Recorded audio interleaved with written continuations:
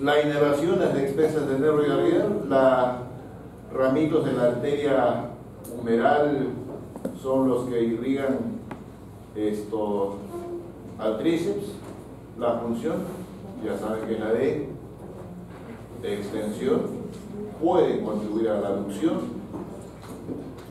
La relación anatómica, jóvenes, fundamental que deben recordar es esta de acá.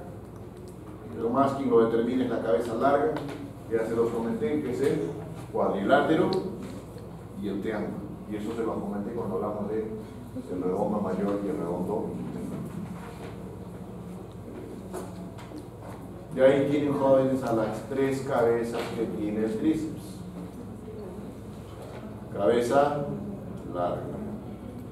La no vieron acá está la cabeza o vasco interno medial. Y este es la, el vasco lateral o externo. Y este es el tendón del. Y aquí está jóvenes el colécrano. Las fibras de este tendón vienen así lateralmente y en la base en sí del colector.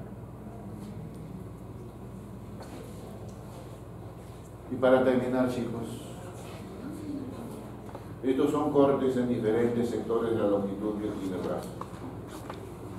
Es decir, cada uno de los músculos que hasta ahora hemos realizado tienen su fascia propia. Fascia propia. Delgada, pero lo tiene. Y después, ¿qué otra aponeurosis se describe en lo que es músculo de brazo? Hacia en todo el diámetro de lo que es brazo. Y este diámetro de lo que es brazo, ¿qué hace? Permite que individualizar a los músculos de la región anterior y a los músculos de la región posterior. Pero eso no quiere decir que la separación esta poneurótica última que les acabo de decir, que divide dos tabiques, tabiques anterior y posterior, sean estructuras selladas. No. Tienen orificios de comunicación que permiten el pasaje de qué? De neuro. Por tanto, son septonotadiques que tienen comunicación.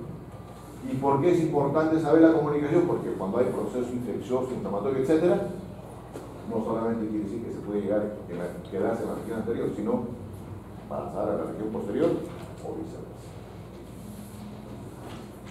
Y este es el esquema que permite evidenciar estos jóvenes. Este es todo el diámetro de lo que es la superficie del brazo.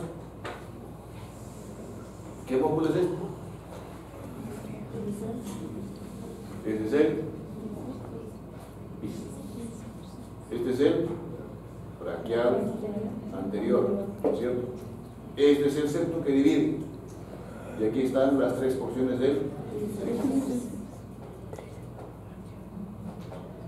Este es mediano, pues acá va a estar el nervio cubital, mediano, la arteria y vena. Y esto qué es obvio, pues. Lo mismo. ¿Alguna pregunta, muchachos? No quieren preguntar.